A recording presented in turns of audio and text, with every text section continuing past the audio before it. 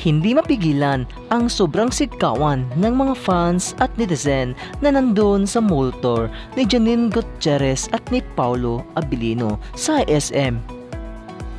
Sigawan ng mga fans ang sumalubong pagpasok ni Janine Gutierrez at ni Paulo Abilino sa entablado. Ayon sa mga fans ay sobrang happy nila dahil nakikita nilang muli ang kanilang mga idol.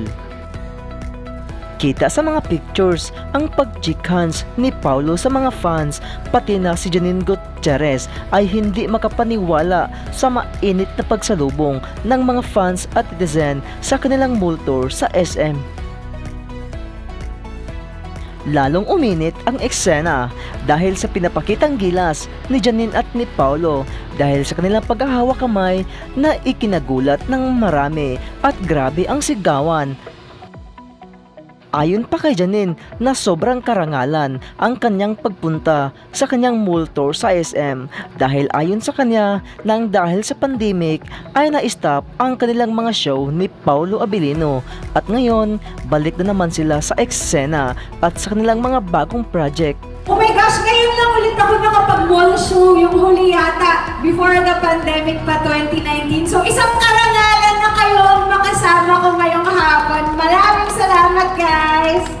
And of course, kwentuhan mo naman kami, ano ba ang role na ginagampanan mo dito sa pelikula ngayon kaya? Yes, sana mapanood niyo yung pelikula namin. Nanonood na ba ulit kayo ng sine? Nakapanood na ulit kayo? Sana kami din isama niyo sa listahan ng mga papanoorin niyo. So yung ngayon kaya isa po siyang love story tungkol sa magkaibigan na hindi nagkakatuluyan, medyo nahihirapan, magkaaminan. Kayo doon? True! Yeah! Tumagot ko ba? Nakarinig. Oo. Anong pangalan ng character mo dito? Ako dito si AM, isang musikera na very optimistic, umaasa. Tapos may best friend ako na hindi umaamin na mahal pala niya ako. Siyempre, ang hirap na pag hindi umaamin, di ba? Marami mo dito O, di ba? Umamin na kayo. Umamin na kayo. Pa- At, at kung hindi man kayo umamin, manood kayo ito para makarelate kayo. Tama, isama nyo na yung mga crush nyo, pamilya nyo, jowa nyo. Showing nyo po ito, June 22, so malapit na malapit na po. Thank you so